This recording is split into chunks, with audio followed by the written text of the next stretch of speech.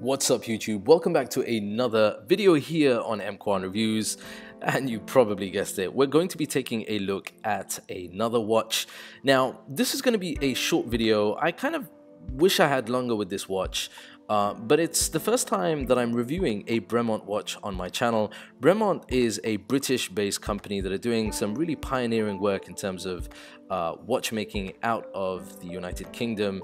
And as part of their new range, this is one of the particular watches, the S301 or the Supermarine 301. And it's a professional dive watch in a slightly smaller uh, size. It's a 40 millimeter hardened steel case, but it's vintage-esque and you can see that uh, with everything from the dial, the strap. This particular version comes with a leather strap and I absolutely love it. I regret not having this for longer because this watch is very different from a lot of the other dive watches uh, that you will see. It had a great feel on the wrist and interestingly enough for a dive watch um, it didn't feel very large or heavy you've got this um, uh, ceramic bezel, unidirectional uh, bezel, and then you've got these rounded lugs.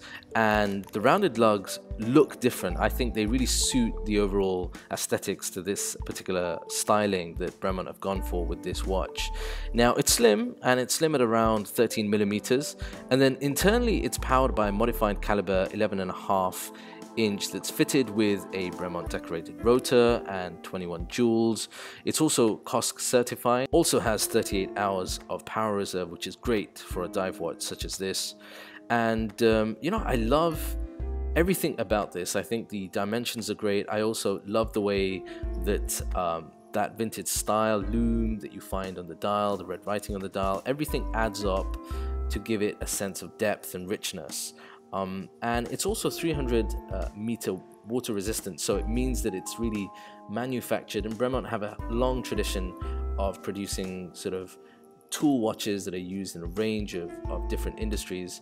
The only thing that I wish I had was more time with this watch so that I could have given you a much more in-depth feel with that time that I had.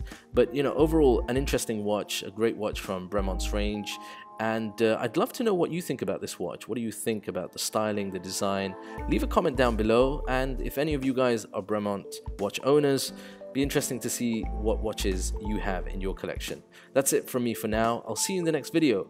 Until then, I'm EMKWAN. Peace and blessings.